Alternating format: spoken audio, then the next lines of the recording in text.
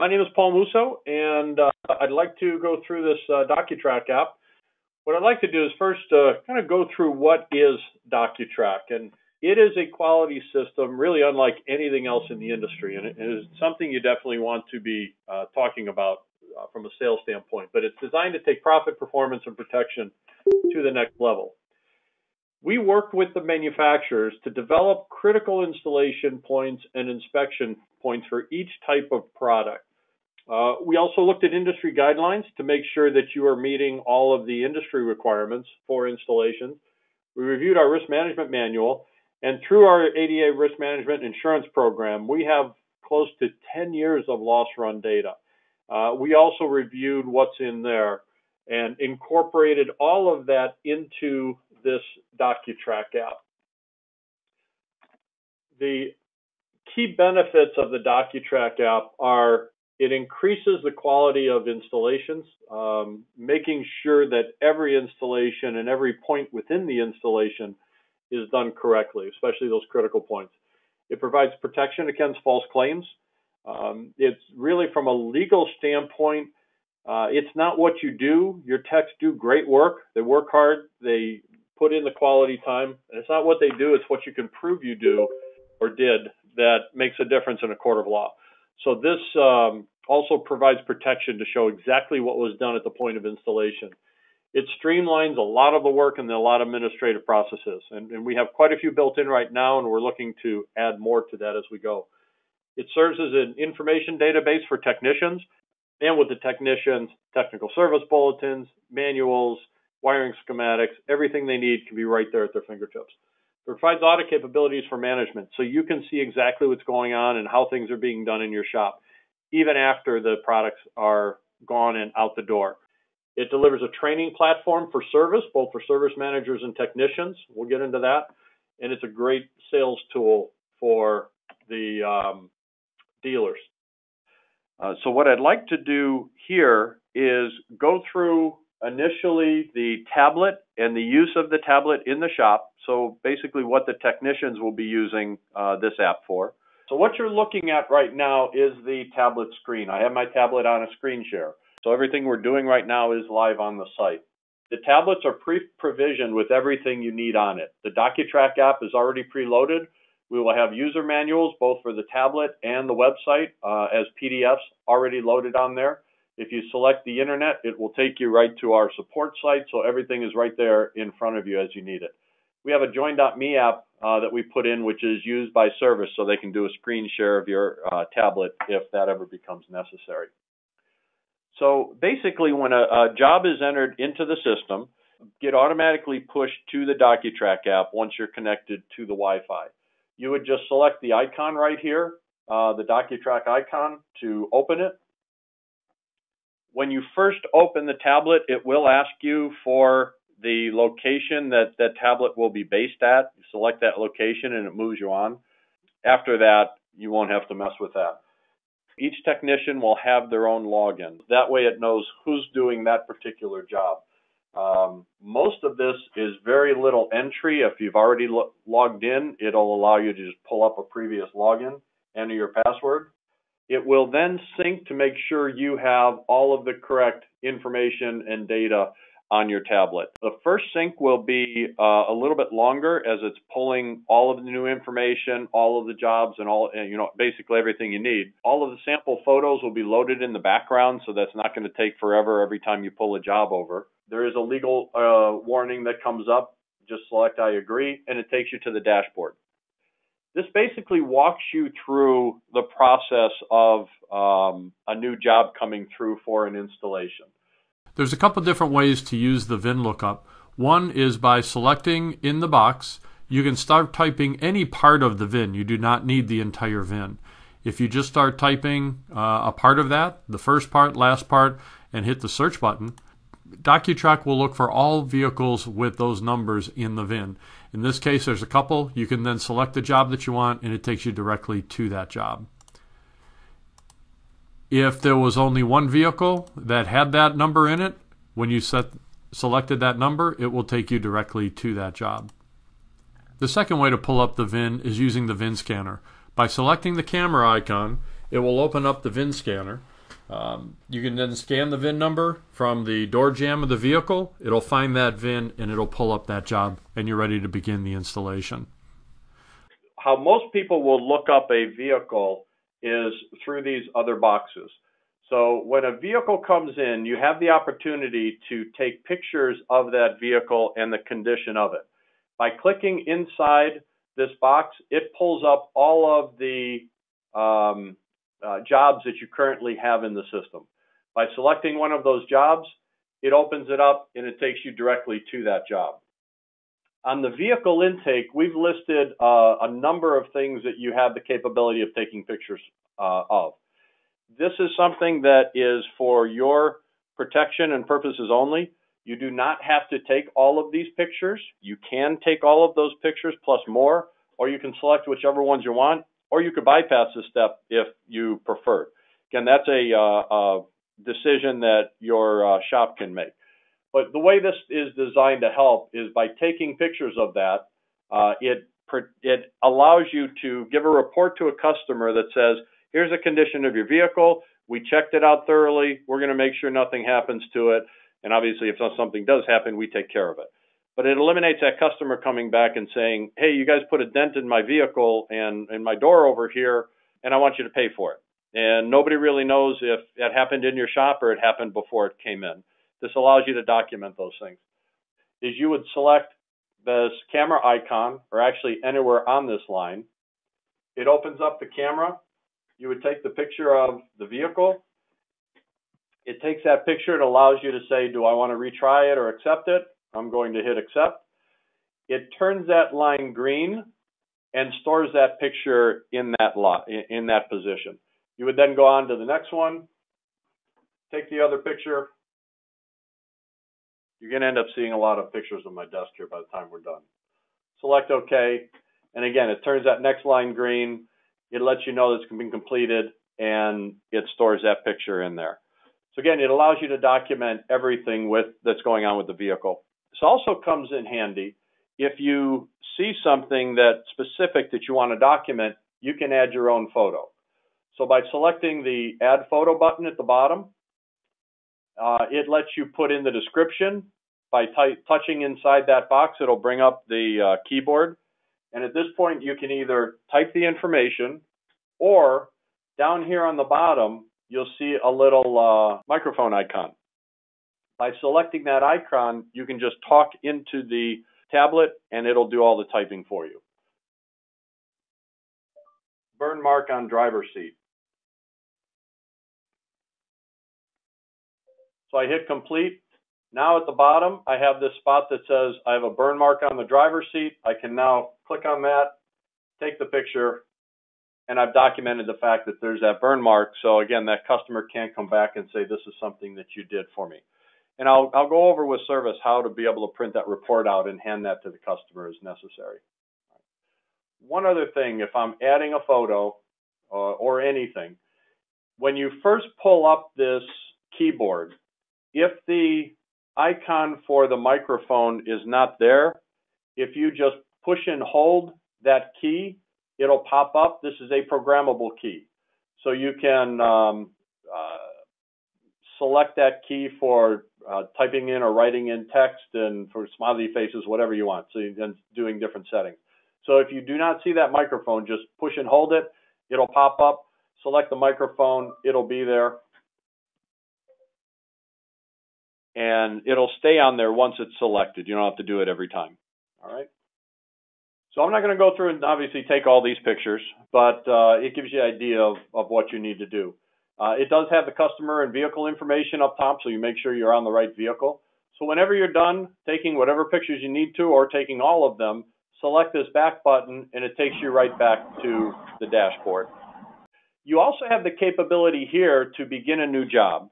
Uh, by selecting this, it opens up the uh, first the customer information, then vehicle information, and everything really could be put in on the tablet.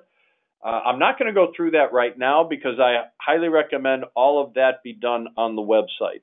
That way, you you know uh, the service manager or service writer can put that in, make sure it's correct, and then push the job out to the tablet. But any uh, and modifications you can make as you go through the rest of the installation.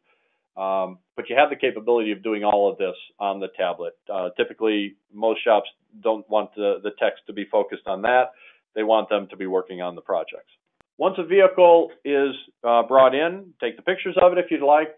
Uh, first thing to do, if you're going to be weighing the vehicle, uh, again, this is optional. It's based on um, what your shop's uh, requirements are on weighing vehicles and obviously the type of product you're putting in there.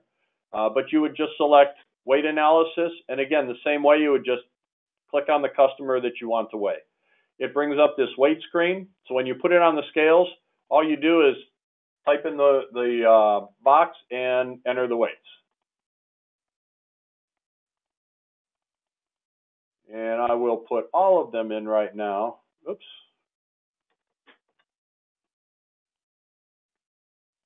And we're going to go through. This will do all of the weight calculations for you and also adjust for other information. So as you notice here, it added the total weights.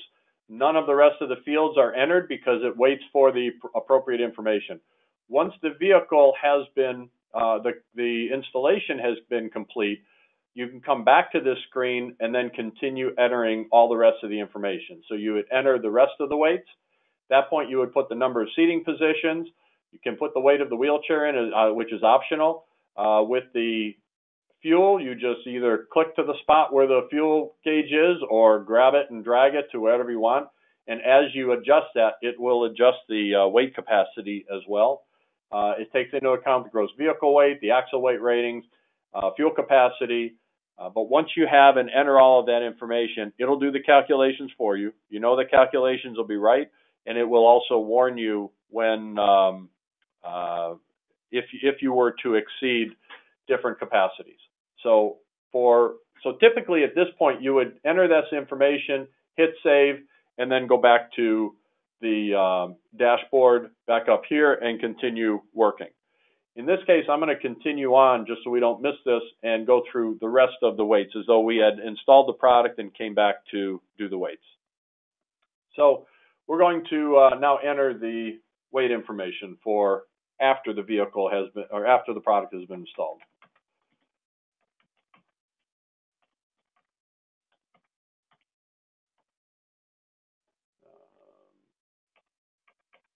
Um, okay. Number of seating positions, let's say five. Um, I don't know the wheelchair yet. It's about uh, three quarters of the way full. My GVWR is 6,000 pounds. 3,000 pounds. Um, tongue weight is optional. You don't need it, uh, but you do need the fuel capacity. Now, we're also working with VIN lookups that if the fuel capacity is available, uh, it'll pull it.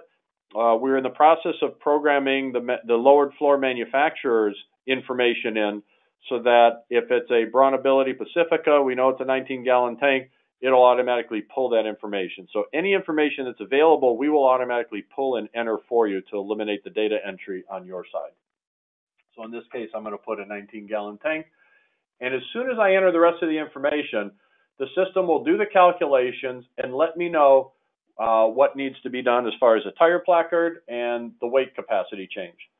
If you have exceeded, and we're changing this right now, the programming is being done right now, but it will be if you've exceeded 100 pounds, um, it'll which is a a requirement to uh, uh, replace the tire placard uh, or the weight placard.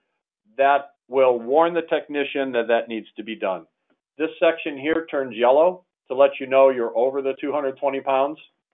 Soon it'll be the 100 pounds, uh, so that uh, something else has to be done. If you exceed the capacity,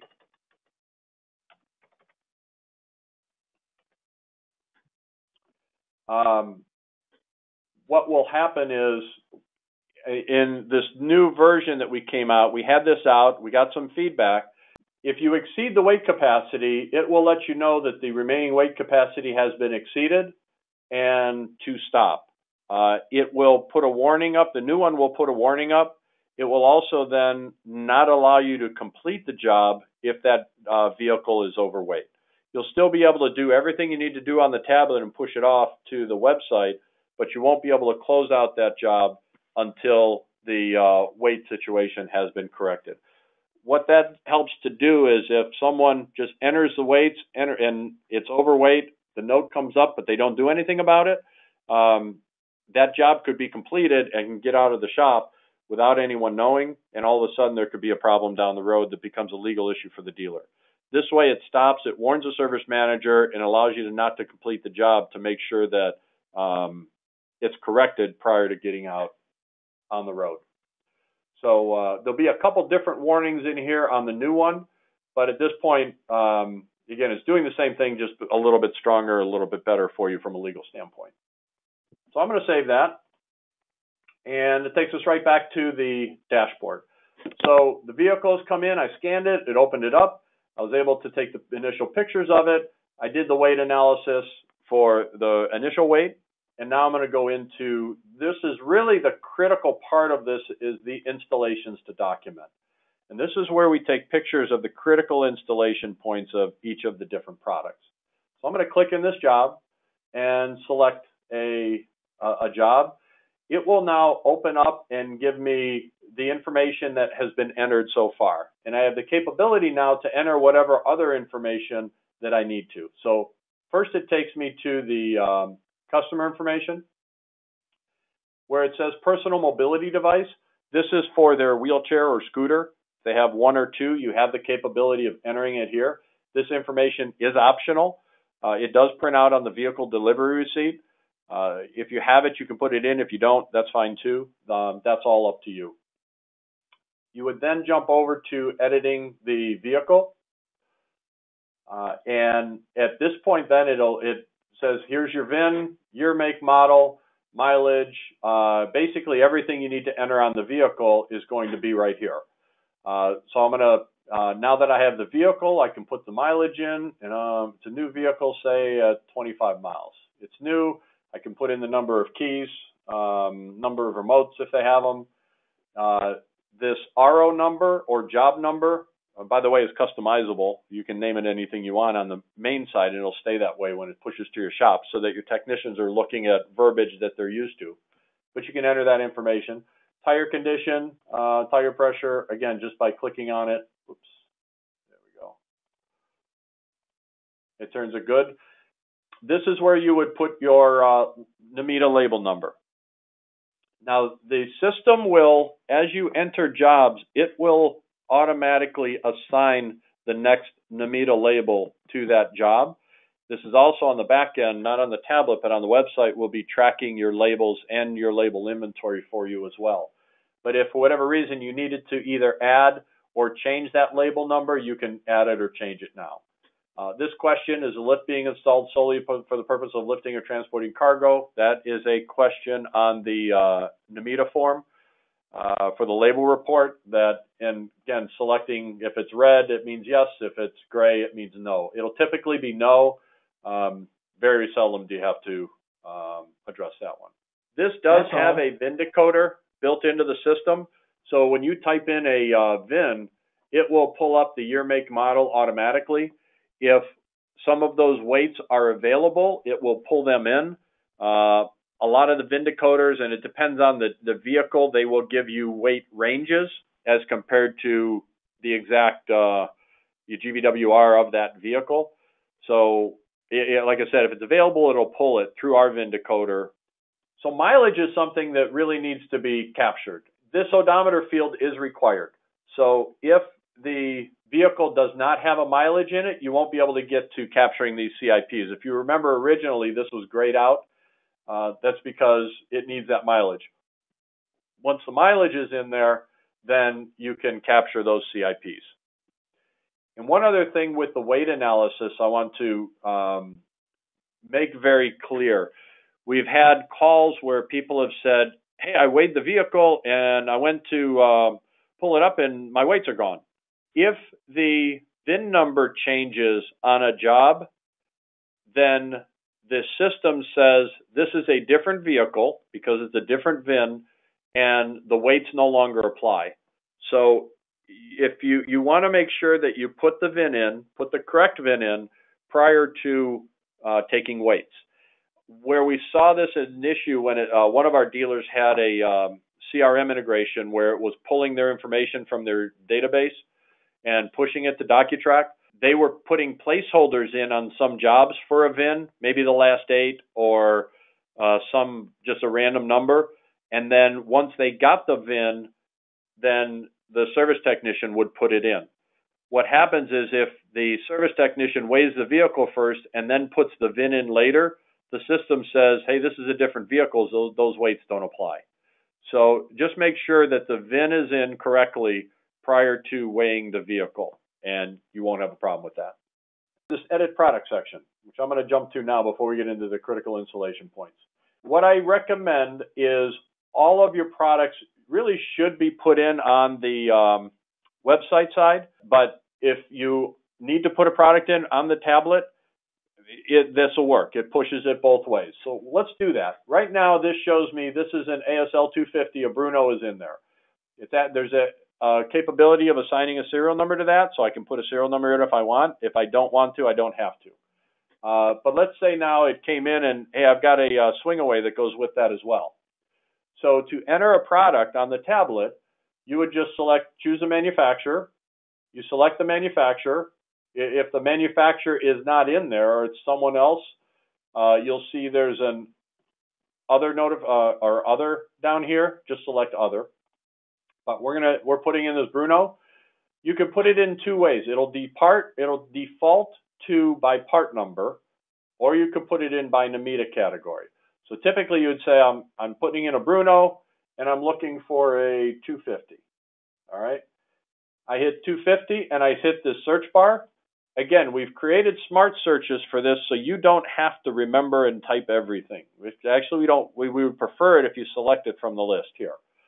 So you type in part of that part number, hit search, and it'll pull up anything from that manufacturer with those numbers in the part number. So I'm gonna look at that and say, well, yeah, it's a um, the 250 swing away is what I'm looking for. Great. Select swing away.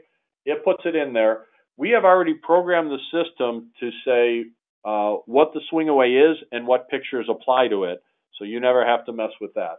If you want to put a serial number in here, you can. Uh, if you don't want to, you don't need to. New or used, now you hit finished adding product.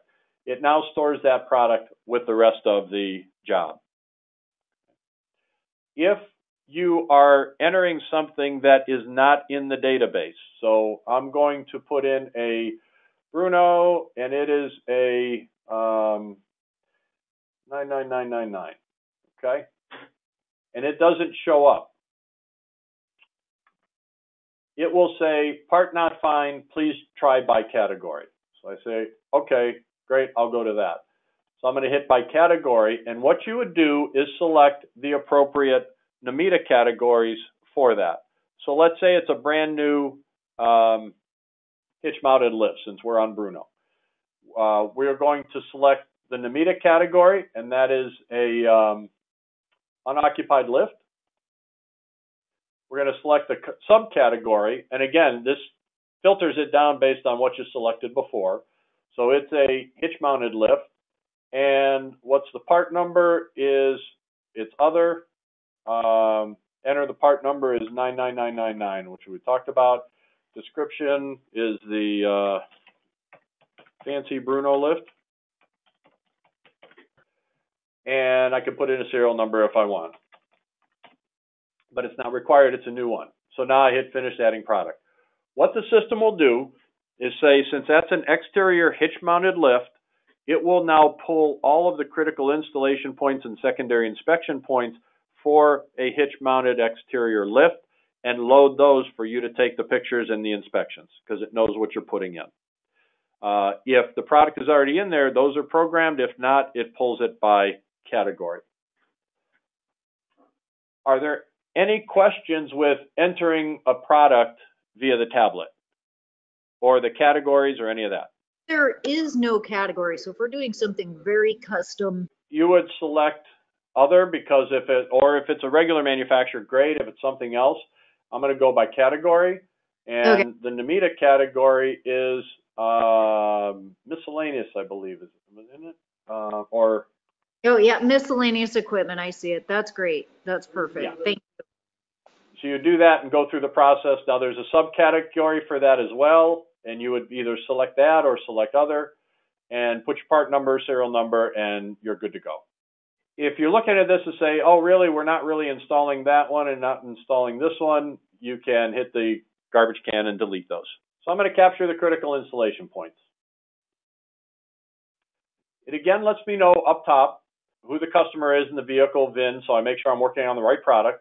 If one of the products has the capability of entering a serial number uh, and doesn't have one, it will ask you if you want to continue or not, or if you want to enter one. So I'm going to continue without it. I don't want to put a serial number in. Uh, recommend putting them in, but you don't have to. If the manufacturer says we don't use serial numbers on that product, then it won't even ask you. We've programmed that into the back end, so it only asks where there's serial numbers available. This will do a couple things. These are your products, and by clicking in this box, it lets you know what products, and you can select one, you can jump between one and two, it doesn't matter or however many products you have. You don't have to take these in any type of an order. And you can go back and forth as necessary. But what it will show you is it lets you know this is the um, critical installation point, your additional groundwork connected to the vehicle. This is a sample photo, and it's the salmon color because it hasn't been completed yet. If I look at this and say, well, it's the additional, what are they really asking for here? By clicking on this sample photo, it brings it up full size, so you can look at it and say, okay, that's what they're looking for. Great. I'm going to go in. I click on that. Excuse me, anywhere I want. Take the picture. Yeah, that picture is good. Isn't it beautiful? I'm such a photographer. And it loads that picture into the system. It turns that line green so you know it's been done. It puts the initials of the person who installed that. In this case, this is test user. And it also has an undo button if I want to get rid of this. So now that one's done, and I go on to the next one. I'm going to take the rear of the vehicle. Now I'm going to take a picture here. Again, it goes through, says, yep, that picture is good. Great, put it in, turns it green, lets the system know I took that. I go on to the next one. Since these are critical installation points, every one of these pictures needs to be taken. You cannot complete a job until all these pictures are taken. So it does a couple things. One, it again, it helps document, yes, you did it the right way.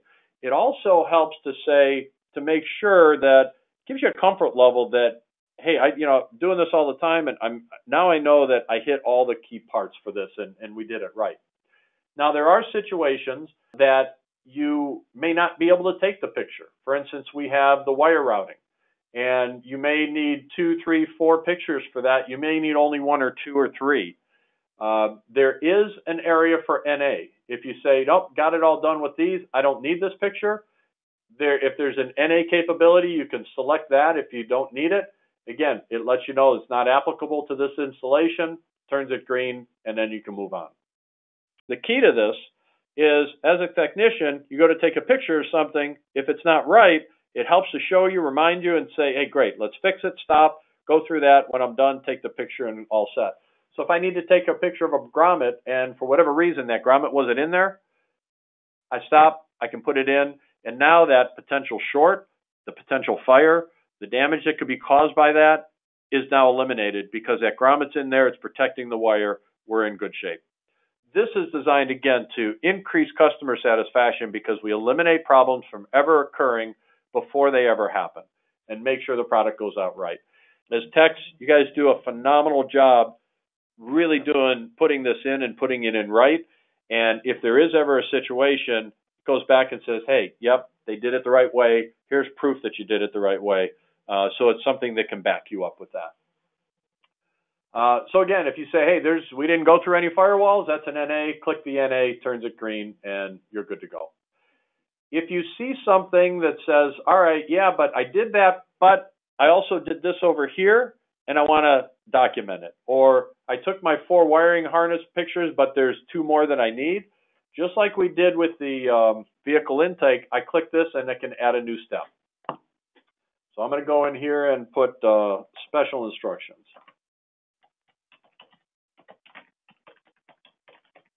And again, by clicking on that icon, I can just talk it. I don't even have to type.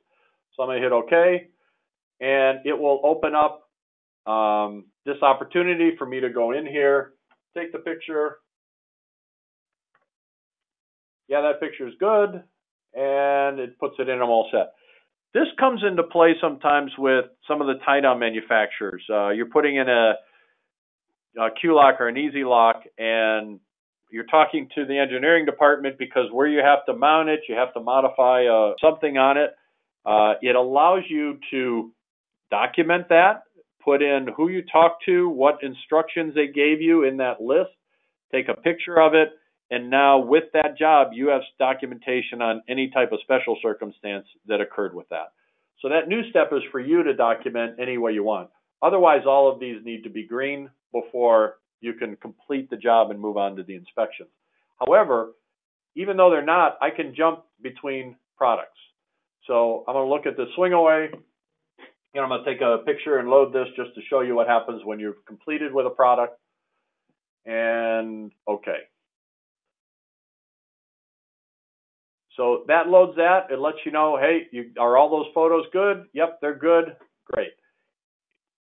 Uh, I'm missing a serial number. Yeah, I want to continue without it. Now, once I finish the swing away, it jumped me automatically back to the uh, 250. If you notice now when I click on here, this is green. That tells me all of the pictures are completed with that job. This is still the salmon color. That means there's still pictures needing to be done. In some cases, like you see here, you have to scroll through. Um, if you might look at that and see all green and think, hey, that job is done. No, if this isn't green writing here, and if this isn't green on the box itself, that means there's still more pictures to be done. We looked here and that ASL 250, the swing away is all green up here. It means everything is completed. So that's a quick way to make sure everything is right uh, and completed uh, before you move on to the next one. You'll also notice down at the bottom, installation complete is grayed out. You cannot complete an installation until all of the pictures are taken. So once they're all taken, then you hit installation complete. Couple things up top. We are working with the manufacturers on technical service bulletins. If there is a TSB out on a particular product, they have the capability of programming that into the back end so that this uh, icon will show. So as soon as you pull up this job, you see this uh, warning icon says, hey, there's a, a, TSB on that. Click on that. It'll open up a web page or download the, uh, the uh, document, uh, a PDF, and you'll be able to read and review that technical service bulletin right there on the tablet in the shop. You don't have to go chasing it down. If there are manuals available, wiring schematics, installation schematics, things like that, or installation manuals, we will have links up here on that as well. And we're in the process of programming those. You would click on that.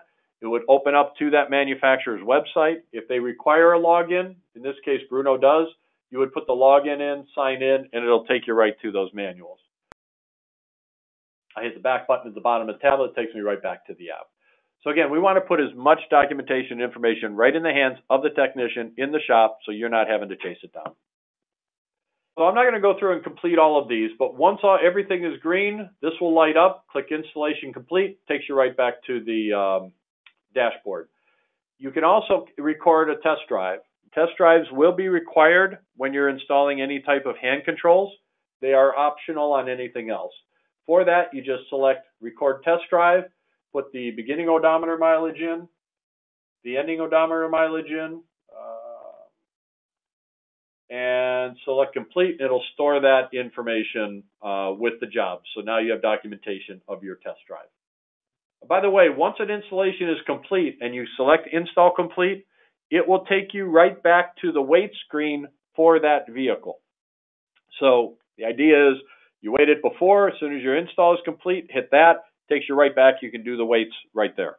If it is a vehicle that does not uh, that you are not weighing or you're not ready to weigh it at the time, just hit this back button right here and it'll take you right back to the dashboard.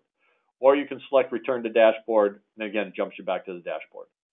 So now we, we've pulled up the vehicle by VIN, uh, we've done the intake photos, weighed it, did the installation, took the pictures. Now it's time for that secondary inspection. So at this point, I'm going, I can log out um, by selecting dashboard. I can select this and log out. Anytime you're done with the tablet, you want to log out. If you do not log out, if the tablet sits for 15 minutes of inactivity, it'll automatically log you out. Again, we want the right tech being entered for all of this information. Um, so you would log out, the next tech would log in, and go to secondary inspections. By selecting that, it will only pull up jobs that are ready to be inspected. So I'm going to select that job. Just like before, it tells me the products that are up here, and I can select whichever product I want. It will give me the uh, installation points or the inspection points that I need to do. If they're green, it means that inspection point has been completed. If it's salmon color, it hasn't been. If you want to undo any of this, just click the undo and it just takes it right back off for you. Okay. So typically when you first start, it'll come up right here. If there's a technical service bulletin out on that vehicle, this will show up here as well. So with the inspection points, you just read it. Hoist shall be installed per manufacturer's instructions. Yep, that was done. Did not exceed the GVWR, the axle rating. Yep, that's correct. Uh, and you would just go through all of these items and just clicking on it turns it green. And again, it's logging in who is doing that inspection um, and enters that information automatically. Now, there are situations like with this, the pivot tube ground clearance between 10 and 12 inches. If you select that, if it needs additional information, it'll pop open the box and ask you for the info. Just type it in or hit the microphone button, speak it in, it puts it in. Uh, that comes into play, it could be with torques, with hand controls, it could be with uh, uh, distances apart from each other or from floor to uh, shoulder harness on a, on a um, uh, tie down. But in those areas, it allows you to enter additional information. So all I'm going to go through and check all these as I check them. Yep, they're good. That turns that product green. And once all of my products are green, my installation complete uh, button is active now. All right. A couple other points with the inspections. One, and by the way, both on critical installation points and inspections, there's also this um, button right here. This allows you to add additional documentation to the job. So we showed you how to do it for the vehicle intake and for the critical installation points to take pictures. Maybe you're not taking a picture of anything, you just want to document something.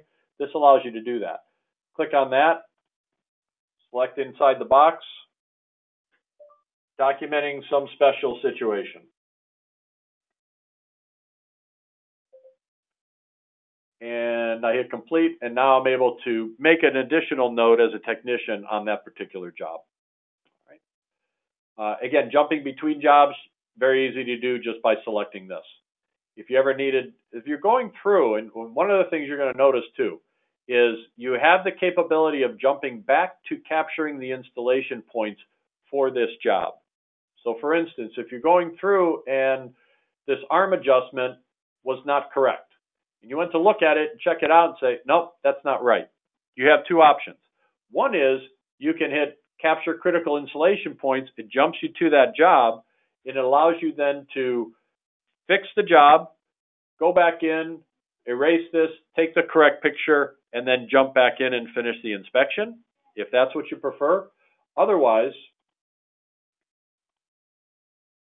uh, you would see that and say, oh, that's not right.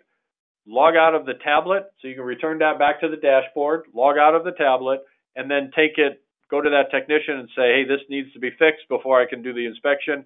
Now they can go in, make the changes, take the right pictures, document it correctly, and then you can go back in and finish. Uh, what's nice about this system is you don't have to finish a job in all one swoop. You can go back and forth, jump between jobs. It will store and hold that information until that job is completed. One last bit.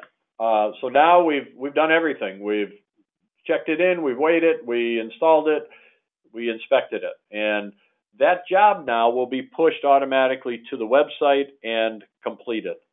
Uh, and I'll work with the service managers on that. A couple things about this menu up here. Um, by selecting this, it lets you know who is logged into the tablet at the time. You can jump to the dashboard, you can go to help, or you could log out. This help screen does a couple things. It's a nice quick reference. If you've just entered something on the website and you're logged into the tablet, when you log off and log back in, it will resync all the jobs. If you're in the middle of something and something got added to the computer and you say, hey, I need this now, by going to the help screen and selecting sync offline data, it will go through and sync both everything on the tablet will be pushed to the website and everything from the website will be pushed down to the tablet. So if you want the latest and greatest information, go to here, hit sync offline data, and you're all set. Again, otherwise, it'll sync in the background automatically, but it will do that when you log in, log out, um, and or logging in and uh, different points when you're returning to the dashboard. It also lets you know, make sure you're on the right version. So from service standpoint, if you're having an issue and you call the help desk, there's a uh, it'll let you know what version it is, but it tells you if you're online or not. Um, if the the tablet allows you to continue to work even though you're not online. So if your internet is down, as long as the job was initially pushed to the tablet, you're able to go through and take all the pictures, do all the inspections, everything you need. As soon as the tablet reconnects, it'll push all that information back up. Uh, sometimes people have said, hey, my job's not showing up. Uh, if the tablet's not online, obviously it can't pull it down from the website. So that's a good thing to just to double check, make sure your tablet's online. And also lets you know if anything needs to be uploaded right here. This last one right here is used by customer support, and that it's a very long, it's a much longer sync, but it creates a special database that the technicians can look at to do some troubleshooting. So typically something you're not going to use, but the sync offline data is a quick way to make sure everything's updated. Uh, we have a support center that is open. It's a toll-free number. They are open 8 a.m. to 8 p.m. Eastern, so it's going to be really early in the morning until 5 p.m. Uh, Pacific. They are also open on Saturday. Uh, I think until 5 Saturday uh, Eastern, so that would be 2 o'clock your time. So pretty much when your shop is open, there's a toll-free number to call to get support. Um, so we're we're there to support you and make sure this is good for you working, comfortable. Don't uh, beat your head against the wall trying to figure something out. Call the support center.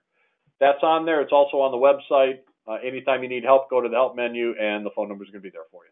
All right. From the technician standpoint, that's all that they really need to know at this point. As far as working the tablet, we're going to jump into the uh, administrative website uh, portion at this time with DocuTrack, the website is the heart of this and it pushes the information out to the tablet. To go to DocuTrack, the URL is docutrack.app.app. So it's docutrack.app. Takes you right into this dashboard. First, it'll ask you to log in.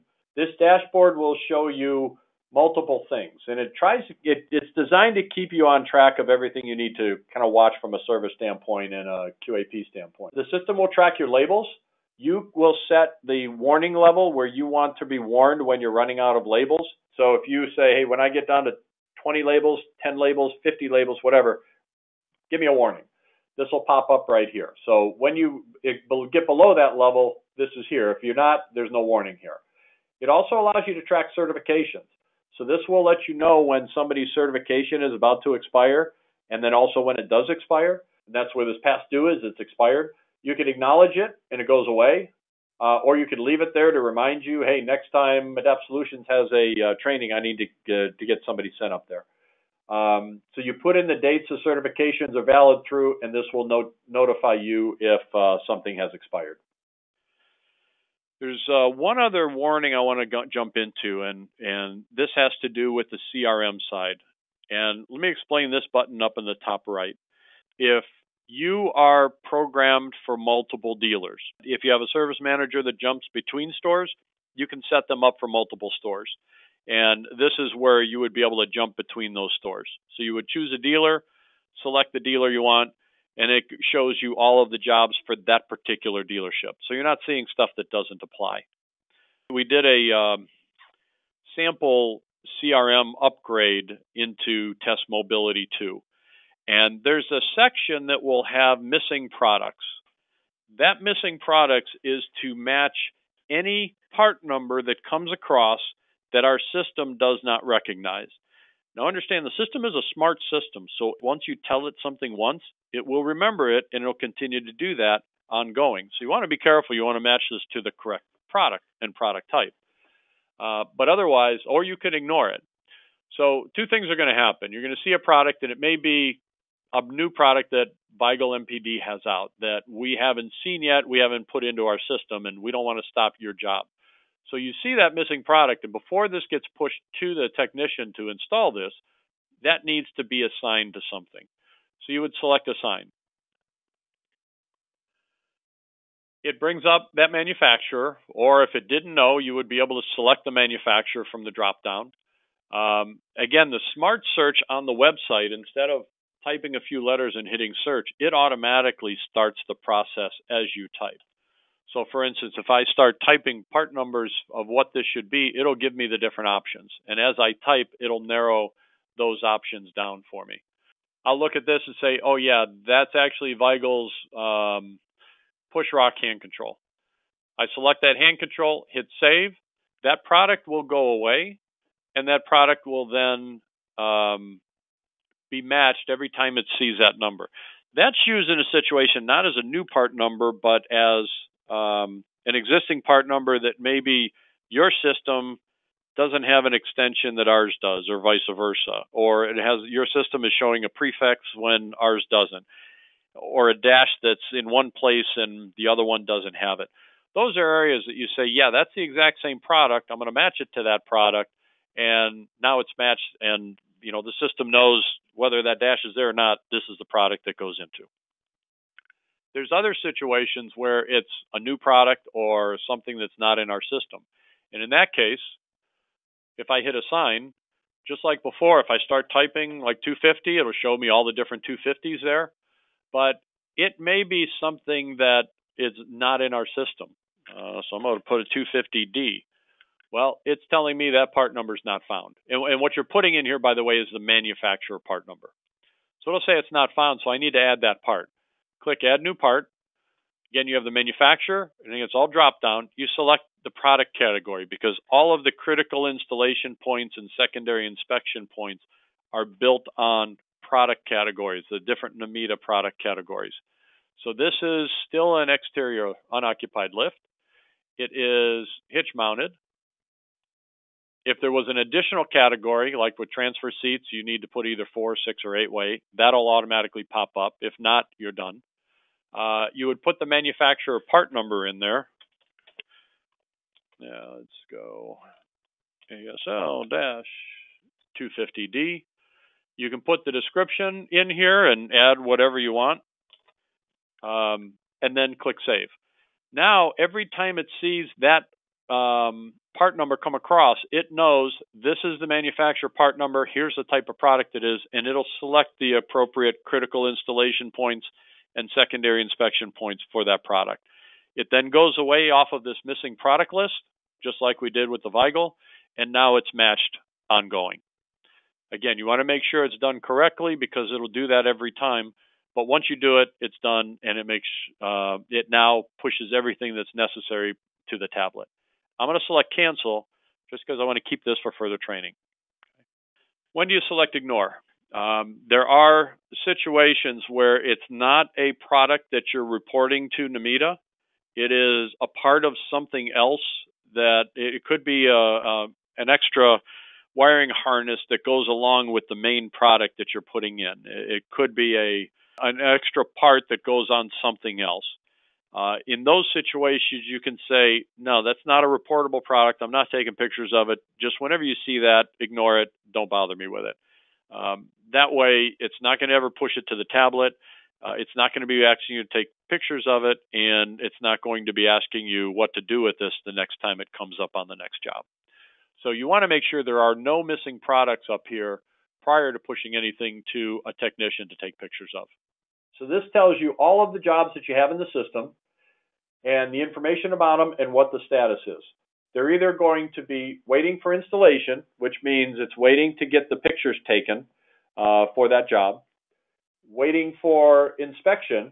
So the pictures were taken, but now somebody needs to do that secondary inspection, and that's this waiting for inspection right here waiting for customer sign off. This allows you to electronically or manually sign uh, some different documents and upload them to the system. I'll get into that later. Waiting for submission. So that's submitting to NMEDA. It does all your back end, month end NMEDA paperwork. And then once those are done, it jumps to completed and it comes off of your list. So these are all your open jobs. You can sort by any of these headings up here. Just by clicking on it, it will sort uh, alphabetical and then opposite. Uh, you can filter. So when you see this um, filter button here, select that and then select what you're looking for. I'm going to say it contains uh, TE, filter. It'll go through and show me anything that just contains that, or equals, doesn't equal to, whatever. You can look up RO numbers that way. It's a quick way in any of these columns, um, either in this or other ones that you can filter. So uh, I'm gonna get, and if the filter is dark, that means the filter is on. Go back here and clear it. It shows you everything. Um, so this is where you're going to start each day. You definitely want to make sure that you know check your warnings up on top, and then you can add jobs in here. So to add a job, select Add Job. It'll open up your job detail. If you have multiple dealers, you can select which one you want to put it into. Uh, in here, if it's a new customer or if it's an existing customer, uh, you can type that in and it'll let you know if somebody has, uh, if it's in there has been found or not, or you can select add new. So here I would put, if you have a customer number, you can put that in for information in there. Uh, add the customer information, email if you want, address, uh, address two. It's going to jump you to zip code. And in this case, I put the zip code. It'll automatically pull the city and state, so you don't have to worry about that. We're trying to eliminate typing. All right. Uh, so now I have my customer information in. I can put the mobility device information in there. That's their wheelchair or scooter, uh, or not. If I don't want to put that in, I don't have to. I'm going to select save. Once I put the customer in, I can go back and edit, edit it anytime or change it. Now vehicle information lights up. I am going to add a new vehicle and I put the VIN in, hit tab, it's pulling year, make, and model. I don't know what, uh, well, I'll put uh, 25 miles. So here's where you would put all the, now this information all comes out on the vehicle delivery receipt. So again, it's, it's not required, but I recommend you put it in. By clicking on it, again, it's drop down, so you're not typing. Mobil mobility vehicle type, I'm going to say it's a uh, lowered floor, and it's a minivan, uh, and it's a consumer. So you can put multiple in there. Uh, it's a BraunAbility, and it is a new vehicle. Um, so I have new, used, demo, customer supplied. Uh, again, just click and go. As you enter that information, hit save. It stores all that in the vehicle. Uh, I can put the RO number uh, it'll pull the next NMEDA label number automatically. This is where if you were using an existing label uh, and adding a product or doing something else, or that's not the right number, we're using this one, that's where you would put that in and change it. Uh, these two questions, is it a pass-through or, uh, you know, lift being sold solely for the purpose of listing cargo, they're defaulted to no. If you are not installing anything, just selling a vehicle as is, it's a gas and go, this is where you would select pass-through. If you select it that it's a pass-through, um, it will bypass some of the things on the tablet. It still shows up on the tablet because it allows you to, some dealers like to weigh even pass-throughs. So we allowed it to jump to the tablet for weights, but otherwise it'll set it up as completed. If there's adaptive equipment, you can put all the adaptive equip equipment information in here. So uh, is there adaptive driving equipment? Yes. Was training completed? Yes. And now you can put this in. Uh, if this is no, if there's no adaptive equipment, then it doesn't let you put in all of this information about the driver training because there's no adaptive equipment. I have a question too. Are these yes. all all of these are sorted by um, by jobs, not by customers and not by the vehicles? And I guess where I'm leading to is sometimes one vehicle has more than one owner associated with it, and sometimes one owner has more than one vehicle. Actually, you can have one owner with multiple vehicles, so it's job based. Initially, we're going to be entering everybody because it's not being pulled from some existing database we already have, but that as we get customers coming back for more work, we would already have a customer's information entered in here. So we could have their inter- and, and, and just pull it up without having to re-enter every time. If I'm in uh-huh. test, I have uh, test customer one, yeah. and I'm going to select them, and it will pull up automatically what vehicle is tied yeah. to them. Because Yeah. typically, if you're going to add something else to it, great. Um, if not, and if they have multiple, you can select from that. Drop down. Again, Nice. it's trying to be intuitive, but you say, nope, Yeah. I'm put. They got a new vehicle coming in, okay. so now I can put the new vehicle information in there with that same customer. That's great. So the customer is in. I'm going to hit next. It um, it now allows me to add the product. This works the same way we did on the tablet. You select the manufacturer. Uh, you start typing. What, what's a little nicer about the website, Android programming doesn't work this way. So when you're doing a search, you start typing and then you hit the, the search key. With the website, we're able to program it so as you type, it pulls up your options. And I'm going to hit 250A, and again, it keeps narrowing it down until you say, yep, that's the one I want. New or used, serial number, add the product. It'll, again, it's that nag screen that comes up. Um, do you want to continue? Yes. So now that product is added. You can delete it if you want. You can look to see what photos and all are going to be taken for that, and it gives you the description. You go to the next product. Now I'm going to put in some uh, uh, or uh, Veigel hand controls, and I can either again do it by part number, which is how you want to do it.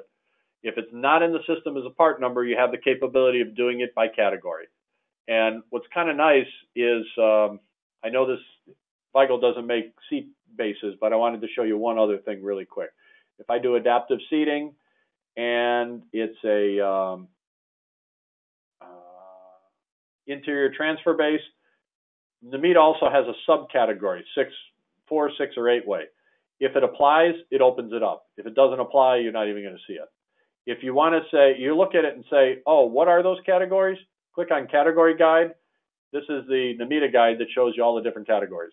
You say, oh, yeah, secondary controls, HVAC. Oh, that's what it is. Okay, so I put secondary and then HVAC, and then I'm done. So I can close that out. Now I go to the category. So it's a little cheat sheet for you. But typically, you want to be doing it by part number. So once you go through, you add the information. And by the way, if the product isn't in there, it lets you know, hey, we don't have that part number, so you can add the new part and it goes automatically to category. In this case, I'm going to do this one and I'm going to put a serial number because I hate that nag screen and select add the product. All right. So these are all your products, uh, and this is how you would add it. Again, selecting other. Also, um, we have in here labor only. So say you have a job that's going through, you want to be able to document it, you need to label it, but it's just labor, there's no parts to it. You can select labor only, and uh, the part number is labor only.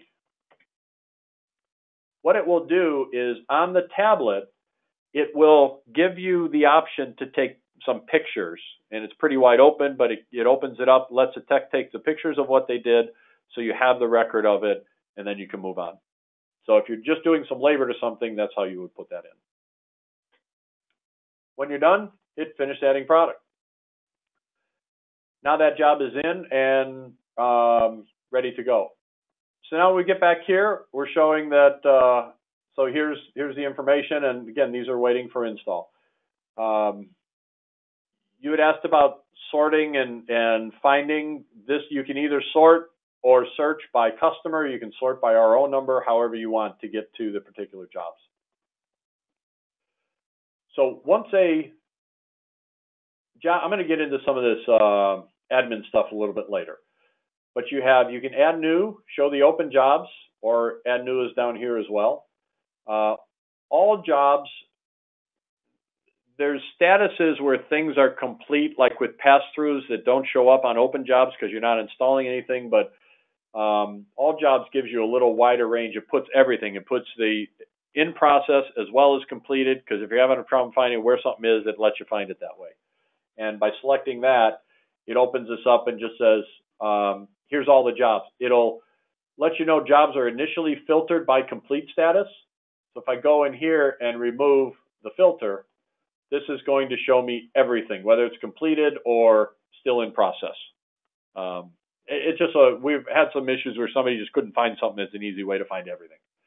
Otherwise, you go to completed installations and it shows you all the jobs that are completed. And I'm going to get into this here in a little bit. But first I want to get into the, the reporting. We talked quite a bit about the reporting side. Uh, label use and labels on hand. Those are your two choices. So the label use report will go through and it will show you all of the jobs that are completed, waiting to be submitted to NMEDA. Uh, it allows me to choose the month, so I can go back in here and say October, or no, I've got to do September still, or I'm doing November, whatever it is. But you would select the month. You would select whatever jobs you want to submit. If you hit all, it selects everything. And then if you needed to, say, uh, no, not ready to put that one in for whatever reason, I can deselect something if I want. Um, at this point, you would select View Report. If you and this will now create all of your backend NMEDA documentation for you and allow you to view it. So it creates three documents. The um, label use summary form that says this is what I started with, this is what I ended with, and I used eight labels. Okay. It also lets you fills out the summary form that says these are the eight labels and this is what I did with them. We're going to talk about destroyed here in a little bit. Um, on some of these tests, I didn't have all the information in there. That's why the vehicle information doesn't show. But then it fills out this NMEDA label report for every single one of those jobs. So all of this writing, checking, documentation is now completed with two clicks. Um, we talked about the mobility, the vehicle type, consumer, minivan, lowered floor. That's where we're, this information is coming out. The BraunAbility. So all the information and questions that need to be asked are right in here. And then it says, based on the product you, you decided or you selected, you don't have to enter this information because it knows a Veigel, whatever the number is, is a hand control, is a push pull. It automatically checks all the boxes for you uh, based on what you put in on the back end. And again, our system doesn't know the product, that's why it's asking you those NMEDA categories. So it can assign the correct photos, and so it could fill out this documentation for you. So every one of these now are filled out and done and ready to go for you. What I would recommend is it's a PDF. You can save it, print it, file it. However, you can have your own documentation of this uh, if you want. But closing this out, going back to this form, so I can view it, or if I hit submit, it submits that report to um, NMEDA. And so what will happen is I'm going to keep a bunch of these because I use them for training. But I'm going to say these two are ready to go. And yeah, I messed up that label. Well, actually, I'm going to go back to that. Well, no, I messed up that label because I stuck it to the wrong thing or whatever. Um, now I'm going to hit submit report. It now emails that report to the info at radco.com um, and it clears those labels out of your inventory. So now those labels are gone and that report's been submitted for you. Any question? I'm going to go into the label. Oh, let me do that first and then we'll talk all, eh, get questions on all labels. So now I go to labels on hand if I want. This is where you would receive new labels. So when you're getting down and you need to add more labels, click Receive New Labels, enter the beginning number and the ending number. It automatically has the N already in there. And click OK, and now it adds those labels to your inventory. So the labels on hand, it tells me what my label numbers are, the date they were added, and if I, again, got went in and hit the wrong thing or, or messed up a label, stuck it to itself, I can select destroyed. It'll ask me, um, this is going to be destroyed. Are you sure? Yep, I'm sure. It now takes that label out of my inventory, so it's not going to assign it to anything. And it puts it in my label use. That 218 is now listed in here as destroyed. So now the next time I do my NMEDA report, I can select that. It tells NMEDA that I didn't use that label, it was destroyed, and it gets it out of my inventory and I'm done. And as you notice, the jobs that I have in-house uh, when I look at my labels on hand, they're not in that um, area to report to NMEDA because they're still in process, and they're not in my inventory because they've already been assigned. If you ever delete a job or delete the label, it'll go back in back in here to be reassigned to something else until that job is done. But it uh, again, it helps you control and manage your label inventory. So I'm going to go back to my open jobs. So it gives me all my open jobs and it tells me the status of those jobs. It lets you know where you are with each particular job. Um, so once a job is done, it's going to go into waiting for customer sign off. And with any of these jobs, no matter where that's at, even waiting for install, clicking on view gives you all the information about the job. So this is the information we added about the customer. The products are already in there. You could add more product if you want, but there's a couple tabs across the top. And those tabs allow you to get to the weights. So all of the weights that were put into that vehicle out in the shop will now show right here. The notifications of the placard and all will also show right here. So all of your warnings will be up here as well as your weights. If you want to enter the weights online, you can do that very easily right here. So depending on how you want to do it, if the tech does it on the tablet or you do it online or a combination of both, you have that capability. We're going to jump to the customer forms tab. The system will display all of the forms available to be signed. This will include the make inoperative, the vehicle delivery receipt, the vehicle weight rating, and if there are any required warranty forms by the manufacturers, those forms would appear here as well. You'll notice the green line up top for intake photos. This is where the pictures that you took of the vehicle when it came in would be stored. We'll cover that here in a little bit. But to start the form signing process, just select Fill and Sign. This will open up a form that takes all of the information that's currently loaded into DocuTrack and enter that into the form. In this case, we start with the make operative. Again, all the information is pre-populated, and there are areas in gray that are editable that allow you to modify the form as necessary. You want to make sure you review those gray areas and enter the information uh, that you see fit. DocuTrack will also, for the make inoperative, do the heavy lifting for you. It looks at the product that was installed and inserts the appropriate make inoperatives.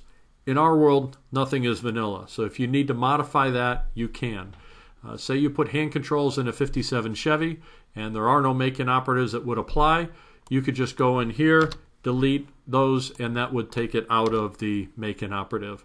If there's something you did that normally doesn't create a make inoperative situation, but in this case it does, you have the ability to enter that as well. And whatever it applies, you can put whatever detail you would need to. So go through the form on the gray, make sure it's updated correctly. At this point then, you can click Save and Next. It saves that form, stores all of your information, and then pulls up and creates the next form in the process. This allows you to scroll through all of the forms without having to go back to the main menu. Again, now the vehicle delivery receipt, go through here, select the items that apply. There are some other items on here in gray that you need to make sure you review and, and also review with the customer. Yes, the tires are good. Again, go through and make whatever applies. Review the weights with the customer, things like that. Once you're done, again, hit Save and Next. This will scroll you through each of the forms. If you want to jump to a particular form, select the drop down here and then jump right to that form and you can move back and forth as necessary. Or continue on and this way you make sure you don't miss any of the forms. As you scroll through, it also creates these forms and sets them up for signature and also for printing. So on the weight rating form, there's nothing to modify. We hit save and next comes up with the Drive Master warranty form. Again, nothing to modify in this. Uh, as we hit save and next, we'll notice it takes us right back to the make inoperative. So now we're back at the beginning. Now that we've made sure that everything is uh, modified correctly, we can begin the signing process. You can sign either electronically or you can print the forms for signing and upload them later. Let's go through the electronic signing process. This does require the Topaz signature pad to be plugged into the computer that you're working with. Each location received one at the startup. Once that is plugged in, you would select Begin Signing. What the system will do now, it will lock this form. As you'll notice, none of these fields are uh, editable any longer. This watermark that you see will not be on any of your forms. This is a test site that we're using before we launch this module. Uh, so this will be nice and clean for you. Opens up the first signature box, which in this case is the initials. hit save and next. If there are multiple places to sign on that same form, it'll take you through each of those so none of them gets missed. So we're going to sign those. There are some locations where the uh, delivery representative from the dealership signs. So you would sign in here and continue on. Once that form is completed, again it locks it. Don't worry about these dates. The system will automatically enter the time and date stamp for all of these forms. So now we're on the vehicle weight rating. We go through our signing for that. And again, you can review the forms either prior to doing this or as you're going through it with the customer. The last form is the uh, warranty form. Hit save and next. Once all of the forms and all of the signatures have been entered, it will take you right back to the customer forms page and you'll note that all of the jobs are completed. Now that the signatures are complete, you have the opportunity to print and or send this to the customer. To do so, uh, if you want to print all of the forms, select the All button and it'll highlight all of these forms. In this case, we're not going to print off the intake photos. We've already given that to the customer, so you can deselect. Again, you can select one, you can select multiple, you can unselect anything you want. At this point, you select the print button. It will create a PDF of each one of those forms with the signature. As we talked about, it automatically inserts the uh, time and date stamp in all of that. And now you have all of these forms available to be able to print out and give to a customer. It's a PDF, select print, it'll print it, and you're done. The other opportunity is to email this to the customer or to third party, third party payers, or anyone else that might need this information. To do so, you would select the forms you want to send, select the envelope icon. This will automatically pull up the email address that's in the system. If there wasn't one entered, this field will be blank, you can enter it. If this needs to be modified, again, just go in and modify the email address as necessary, enter whatever message you want to enter, and hit OK. It will now create a PDF of all of those forms and send them directly to the customer. DocuTrack also allows you to enter other documents that you need to keep on file with this customer. For instance, you may need a driver's license in there, a training evaluation.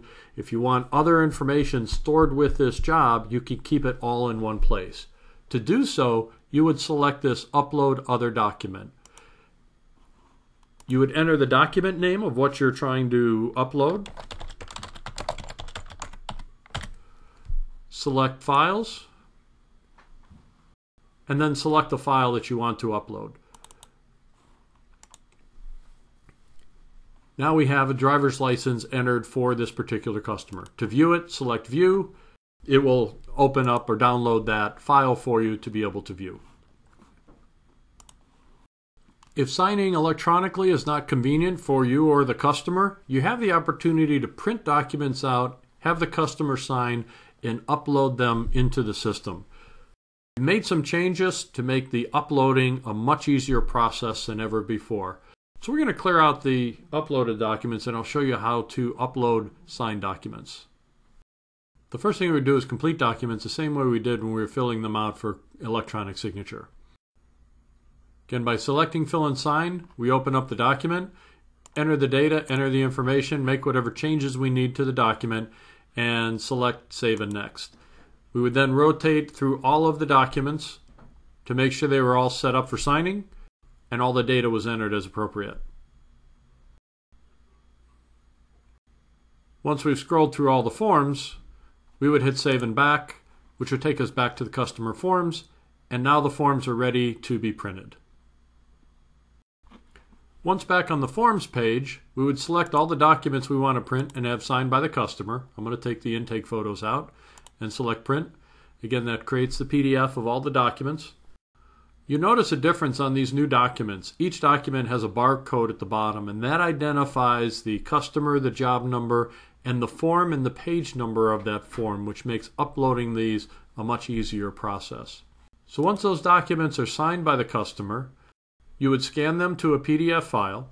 You no longer need to scan individual files. You can scan all of these files into one single file and then select Upload Signed Documents. Hit the Select Files button, select the documents. Uh, in this case, we put all of them in one file. So I double click and select Upload. The system now will upload that to DocuTrack. It will read the barcode on the bottom of each of the forms and it places the form in the appropriate bucket in here, even by page number. So with that single upload, every one of the forms are completed. And when we select View, you'll notice that each of the forms are uploaded individually, even though we uploaded that folder as a whole. Again, just as before, by selecting all, it allows us to print all of the documents and give a signed copy to the customer of each of the documents. Now let's go back to the customer forms page. DocuTrack will let you know here exactly what happened with the upload. If all of the forms processed correctly, this would be green. If there was a form that was already completed and you tried to upload an additional form to that same uh, bucket, it will let you know that that form was previously completed and it will not upload that form. To do so, if you needed to update that form, you could hit start over on that particular form and then re-upload the file and it will now upload that to that and complete that form and you'll have the latest one in there. If after printing something happened to the barcode and or DocuTrack was unable to read that barcode to determine what bucket that goes in, it would give you a notification that that page was not uploaded and you'll see in here that that job was not completed. DocuTrack gives you the ability to upload an individual form to any of these locations. This also comes in handy if you are using your own document as compared to a DocuTrack created document. So you may have your own vehicle weight rating form that you use, and that's what you want to upload. Since barcoding won't work on that, it allows you to upload that form into that um, particular bucket individually. So I'm going to reset that and show you how to do that. So if that page didn't upload or you need to upload your own particular form, you will see this Upload Printed button that's available. By selecting Upload Printed, it allows you to select whatever file you want to be able to put in that particular bucket. So I'm going to put the uh, weights page in there, select upload, and it will now upload the weight rating into that file. To view that, by selecting that, it will show you that the form is in there. Now you notice I'm still using the same form, but you'll notice there is no barcoding at the bottom. So I took the barcoding out so the system cannot read that page uh, like it would if you were to upload your own form, or if for whatever reason the barcode was damaged, torn, or, or not really being read by the system. Now that everything shows completed, you're able to print or email the forms as we had shown you before. This job now moves from the waiting for customer sign off into waiting for form submission to be submitted to NMEDA. DocuTrack also gives you the ability to upload multiple forms for multiple jobs all at the same time with a single upload. So I'm going to reset all these and we'll start over and I'll show you a, an easier way to do many uploads at the same time. To upload forms, once they're created and printed, you don't have to be in each individual customer form section to be able to upload that. You can also access that area from the Jobs dropdown to upload signed forms. From here, you can upload multiple forms to multiple jobs just by dragging those files into this box. So you would select upload. You could select as many jobs as you want to upload at the same time. We're just going to do one right now. And select open. It'll now pull all of those jobs and put it in the appropriate location. Or I have the ability to just drag those files directly in. And again, here, if I wanted to drag multiple files in, I can drag multiple at the same time. I could also have one file with two, three, four, five different jobs in it. By dragging it in here or selecting upload here, DocuTrack will go through, read each one of those files, and let you know that everything is processed. If there was some issue with any of them, it will let you know which jobs it had an issue with. So now if I go back to my open jobs and I select a customer that we've been working on, you'll notice that all of the forms are completed. So at the end of the month, when you have a lot of jobs to be able to upload at once, scan them all together as one, put them all in, DocuTrack will do the rest for you. When you are uploading in bulk, always remember to make sure you are uploading the correct customer files. It doesn't matter what customer is open here, DocuTrack will be reading the barcoding on the forms and putting those forms into the appropriate job. Once the forms are uploaded, you have three different options here. Reopen will delete the signatures on the form, keep all of the information that was manually entered, and of course all the information that was in DocuTrack in the form will still be there and allows you to have that form re-signed and or make changes to it, additional changes, and get it re-signed. Start over will uh, wipe out whatever document was uploaded. It will eliminate any signatures. It will eliminate any of the additional modifications you made or changes you made to that document, but it will keep all of the information that's in DocuTrack into that form. View allows you to see the form signed and completed. I talked earlier about the intake photos. This report shows all of the pictures that were taken of the vehicle when that vehicle was brought into your shop. If they were taken, they would show on this form. To view that, you would just select the form, select print, and it creates a PDF of that file. So it shows all of the shots that were taken with the tablet in the shop when that vehicle came in.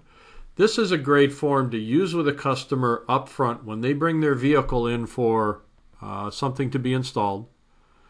The technician takes the pictures of the condition of the vehicle when it arrives. They can document any scratches, burns, or problems with the vehicle. And you can print this report out, give it to the customer, review it with them, and say, Mr. and Mrs. Customer, we're going to take care of your vehicle. Anything happens to it, we'll take care of it. But I want to let you know we notice this scratch here or this dent here. Um, it allows you to make sure that you don't get into a situation where the customer comes back and says, "Hey, you put a dent in my vehicle when you were putting this uh, in, or there's a grease mark here or a burn mark here that wasn't there before." You can document those conditions up front, and also if something does happen to the vehicle, it's clear that it happened after they brought it in. If you needed to look at that a little bit larger or see more detail, again with the PDF, you can zoom in as far as you'd like to. Once all of these are in completed status, then when we go to open jobs, it will then move from uh, waiting for customer sign off to waiting for report submission. And that's where we would submit it to NMEDA.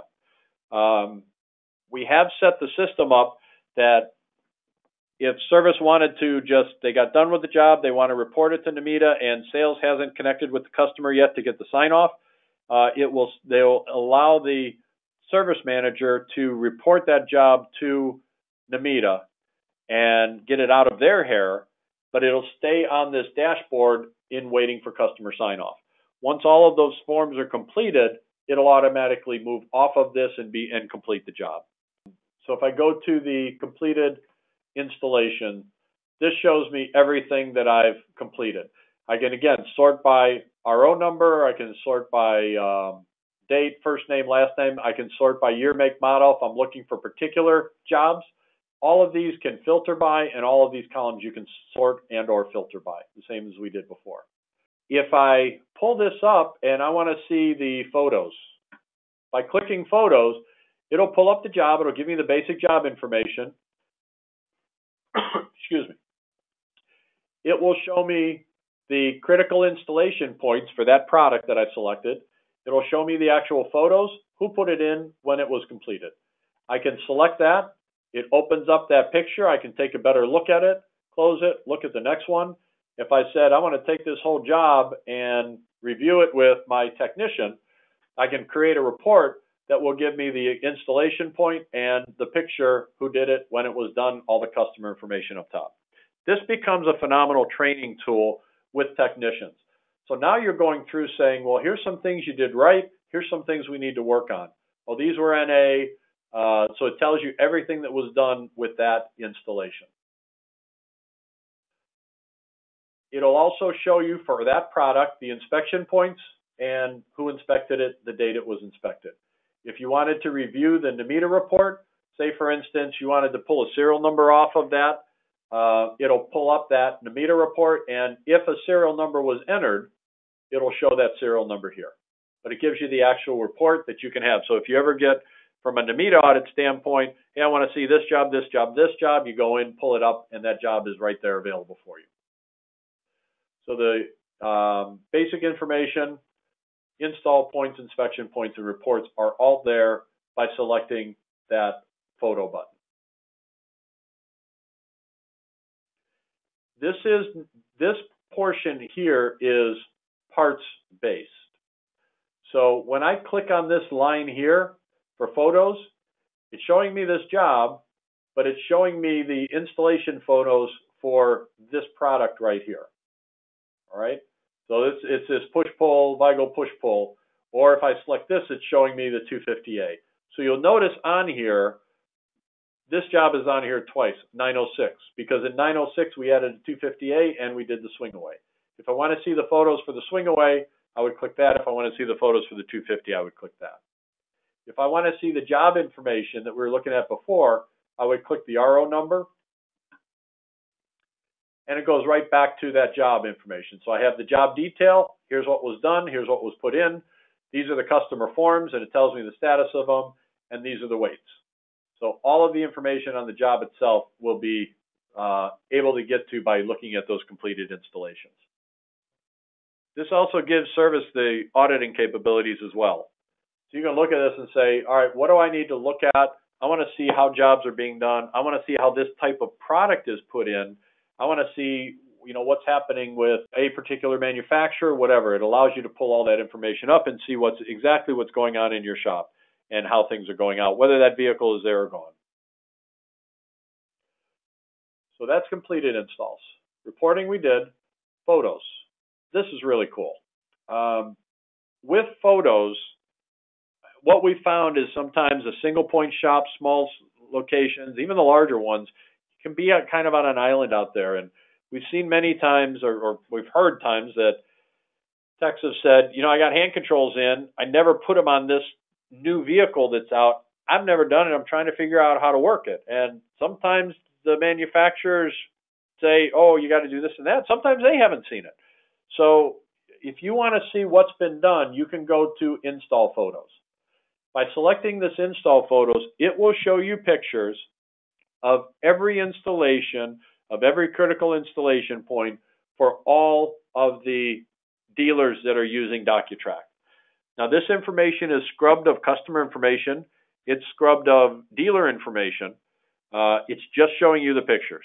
But it allows you to, or a technician to say, how are they doing that? So I'm going to go in here and I'm going to select uh, Bruno, and I want to look at this uh, 250 and I hit apply. It'll now pull up, and we're changing this to a drop down to make it a little bit easier like we do with the rest. It's just not quite there yet.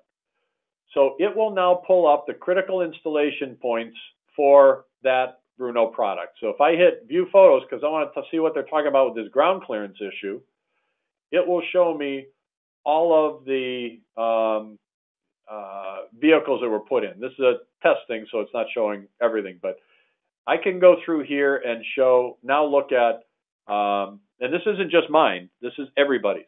I can sort by vehicle, year, make, model, lowered floor. So if I want to look at a particular manufacturer with a particular vehicle, year, or make, I can do those sorts. If somebody's done that job, I'll be able to see it. So again, it's a great resource that we see as being able to see how other things are being done if questions do arise there's no if, verification that what they did was correct. That is, is correct. There? there is no verification. This is not saying these are right. It's saying how they're okay. done. All right. So use with caution. Yes. Um, by clicking on it, that opens it up full size so you can see it. And just like before, if I want to print that out and take it out to the shop, it allows me to do that as well. So that's something you want to review with your technicians because when they get in those kind of spots, this becomes a great resource for them. So let's talk about uh, some other information. Edit my account. Um, basically allows me to change my password, uh, add certifications for training, and I would just put all that in here and make the change. Um, I can edit my location. So if I go to edit my account location information, by the way, all of this is in your manual. It allows me to put the information in here. We have the job number is a custom field. Uh, it'll say um, you can tell it what you want. In this case, I put in RO number. Some people use job number, some people use job ticket. Whatever your wording is, put it in here, and your techs will see what they're used to seeing. You can put in the point at which your labels, uh, your warning labels uh, apply. I put 100, so there's always a warning out there for me. But uh, put it in where you want to be notified on that dashboard. If a location, if you move a location by clicking active, it takes it off. And then uh, this is where you would upload your logo. That way, on the vehicle delivery receipt, the weight rating form, the um, uh, the other form, um, it'll put your logo on all of those automatically. So you upload it right here, and that logo's on there. If you wanted to set up a specific test drive route for your technicians, you can enter that information in here. Uh, put a map in from Google Maps or something if you like. But this is where you would edit, edit your uh, location information. Logging out is here as well. Admin, uh, user accounts. Once a person has been set up as a manager, you now have the ability to um, edit the different people within your organization. So if someone has, if you have a, a someone that's in the system already and has done something in the system, uh, and a, a, technician leaves the organization or, or is asked to leave, uh, if you no longer want them to have access, you just hit deactivate. They will no longer have access to the tablet or the website. Um, this, if someone uh, needs to be activated because maybe they were gone for a while, now they're back, you can activate them right here. By clicking view, it gives you all the information about them and you can make whatever changes, change their password, whatever might need to be done with them. For adding a user, um, again, the same thing, you would just click add. You would enter their name first and last. Uh, these permissions you would set up either as manufacturer ignore, but either as sales, technician, or manager. Manager has full access to everything we've talked about on the website. Technician would have very limited access on the website, but full use of the tablet. Manager has full use of tablet, website, everything. Uh, sales, a little bit less uh, activity on the website side, but has access to um, you know all the main things that sales would be getting to customer reports, pulling up information, stuff like that. Um, oops. It's very important here. You would assign them a dealer. So when I select this, I need to assign them to a main location. So whatever their main location is, that's where you would assign them. So if I say I'm assigning them to test mobility, um, oh, I'm sorry, let's go up here. They need to have a primary dealer. So where is their main location? It's going to be test mobility. Now, once they're selected here, they also have to be assigned a location. These two have to be the same, at least.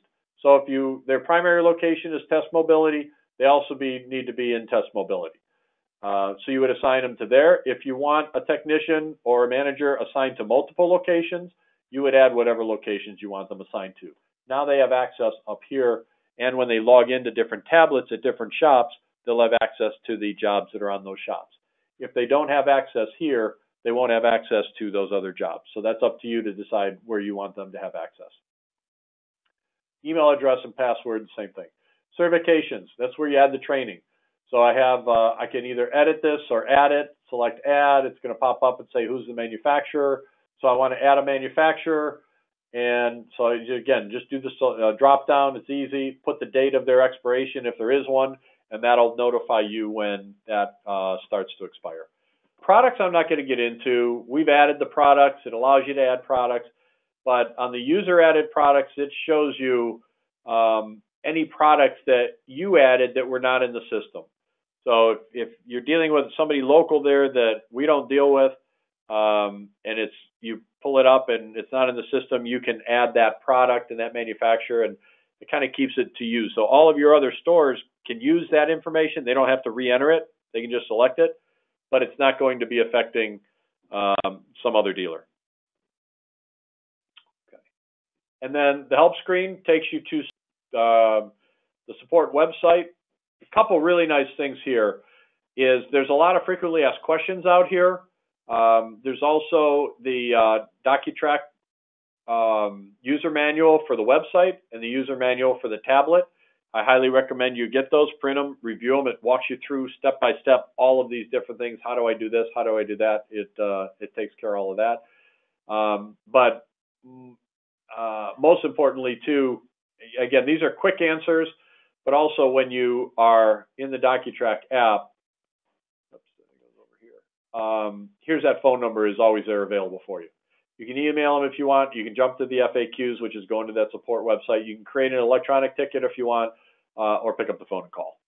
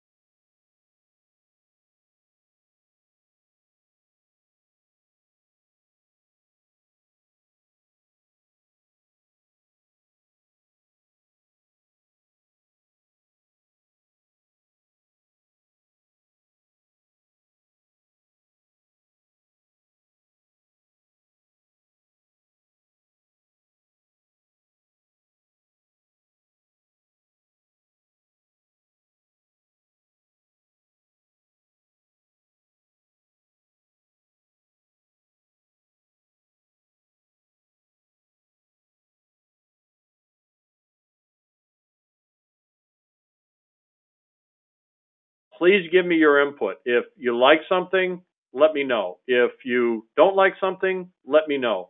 If you have an idea to say, hey, you know what, can it do this or, or I wish it could do that, let me know. We need your input to make this the best possible tool uh, that we can create for you.